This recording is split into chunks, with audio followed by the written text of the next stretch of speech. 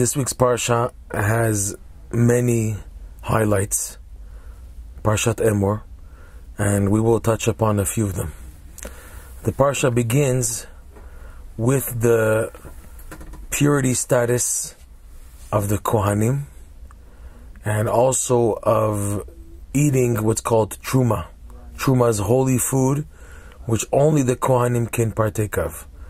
And the parsha goes into, for example, if a Kohen became impure, in which case he cannot presently eat the truma.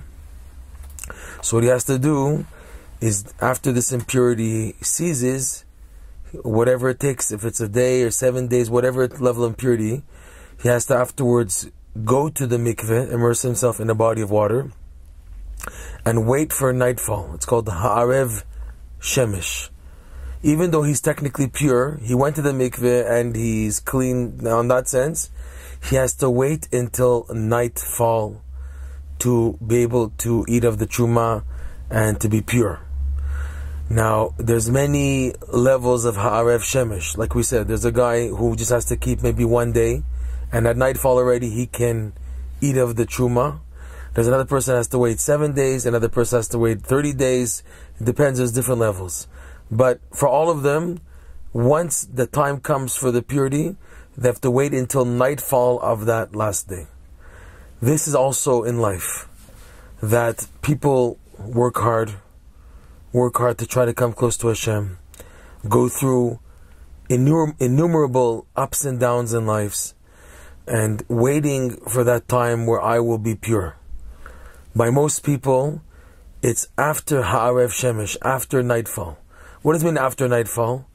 There is the life collectively as a whole, where after nightfall is after a person passes away, then he reaps the reward of eating of the truma, of all the reward that waits for him for all of his good deeds.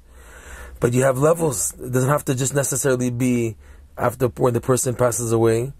But even in a person's lifetime, he has to he has to go through a certain level, a certain time span of toiling and struggling waiting to finally enter the realm of holiness until finally his time for Ha'arev Shemesh, his nightfall, arrives and he's able to partake, he's allowed to partake of the holiness, of the reward of his good deeds, to now see the fruits of his labor. But it's in many levels. And a person must remember that to keep on going. You have no idea when your Ha'arev Shemesh, when your sun arrives. The little translation of nightfall is Ha'arev Shemesh, the darkening of the sun, the sun setting. In other words, you've reached a point now that it's afterwards and now I can enjoy. So this happens in many levels. There's people who struggle in their teenagehood years, their 20s, their 30s, and only in their 40s they finally begin to taste the reward of all their toils and struggles. Other people, it's already in their 20s, other people in their 80s, and there's different types of concepts and, and aspects in this at every level. But the point is, you have what's called a Ha'arev Shemesh. This is one point in the Parsha. Another amazing point of the Parsha, it goes into all the holidays, which is very fun, very exciting to go through all the Parshas. And it goes through also, for example, the laws of the lulav and the etrog, right? The four species taken on Sukkot. So it mentions, right? Ulkachtem lachem. It says the Torah says you must take these four species. Now we know we learn how are they to be taken. So the Gemara outlines, the Talmud outlines how these four species are taken. That we bind the myrtle branches, the hadas, the willow branches, the arava, and the lulav, the palm branch together, and then we join them by hand with the etrog. Now, people know already that the hadas is corresponds to one category of a type of a person. Just like hadas smells nice but has no taste, so you have certain Jews who they give off a nice spiritual smell, but there's no taste in their devotions. They're still lacking in something. They have a nice scent. They have a spiritual scent, but there's lacking the taste, right? And you have other people opposite, that they have a taste, but there's no smell. Like the palm branch is taken from the tree that has fruit, dates. Dates have a taste, but there's no smell at all on the date, the palm branch tree. It's just taste. So you have also people who have good deeds in their taste. In other words, there's a taste, there's a flavor in their devotions, but there's no smell. Okay? It could be the smell is connected more to uh, to the actions, and taste is to da'at, because ta'am, ta'am is da'at. Yishlo ta'am. Ta'amo imo, they say in Hebrew. His ta'am means his his expression, his his his opinion is with him. So ta'am, taste, is more the idea of learning, the knowledge, and smell, giving off a good smell, is good deeds. Ma'asim tovim, they give off a good smell. Good actions, they give off a smell. So you have some people, they have more good actions than learning. Other people have more good deeds in learning. They're more learned, but less good deeds. And you have people who have nothing, like the willow branch. No taste, no smell, no Torah, no prayer, no good deeds. Empty. But we believe, obviously, there's something good. These three types of people all need to connect to the etrog. The etrog is the idea of the tzaddik. The tzaddik is complete in that he both has a good smell and a good taste, meaning his actions, his deeds are complete, are beautiful, and also his wisdom is complete also. This is what makes him a tzaddik, a true tzaddik.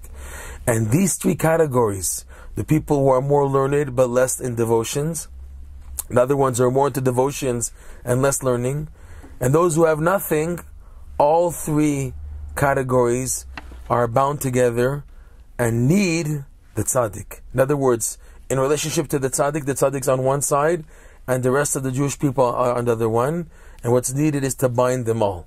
But again, even when binding, we're joining all the type of people in the Jewish people, in the Jewish nation, to the tzaddik. That's the idea of joining the three to number four, the etrog, and that we're joining all the Jews to the tzaddik. And from here you see that everybody needs a tzaddik. From the mitzvah of the four species and how they're joined together, this concept of attaching oneself to a tzaddik comes out in the expression of this idea of joining the four species. Another beautiful idea that we find in the parsha is the mitzvah, which is right now what we're doing, the mitzvah of counting the Omer, Sferat Omer. And the Torah, this week's parsha, the wording is amazing. Usfartem lachem mimachorat haShabbat. Usfartem, you must count lachem for yourselves from the day after Shabbat, which uh, is meant to be the first day of Pesach. After the first day of Pesach, we start counting the Omer. But the the pasuk is amazing that it says lachem to you. You're counting as if to say yourself. What's the idea of Sferat Omer? These 49 days, really 50 days, are a miniature capsule of your entire life. These 50 days encapsulate the rest of the year and also the rest of your life. And you're counting the days which are your days. You're counting your life days. Every day of the counting of the Sferat Omer, you're connecting to a piece of your puzzle. That's why these days are so precious, so important. And the, and the, the point coming out here is that your days are part of the picture. Every one of the days. Even the days that you felt, ah, I just blew my day, went down the drain, everything is eh. With those days, and especially the days where you feel you accomplished a lot and you got things done and you're advancing, etc., all the days are part of the picture. Every single day has meaning, is part of the picture, and there's no room to say, eh, my life is just down the drain and there's nothing happening, I'm not advancing, I'm not moving. No. Every day has a good in it, whether hidden or revealed, but it's part of the picture. You don't know the whole picture of your life. You see from your constricted vision of what of your two eyeballs, that's how you envision your life. Do you know the whole picture? the realm of the souls, the nefesh, ruach, neshama, the level of the angels, the celestial level, the heavenly court, the tribunal. Do you know the whole picture? You don't know. So you must believe that every day is part of the picture and it counts. This is why the Torah stresses usfartem lachem. You are counting for your own good, for your own benefit, and you're also counting yourself.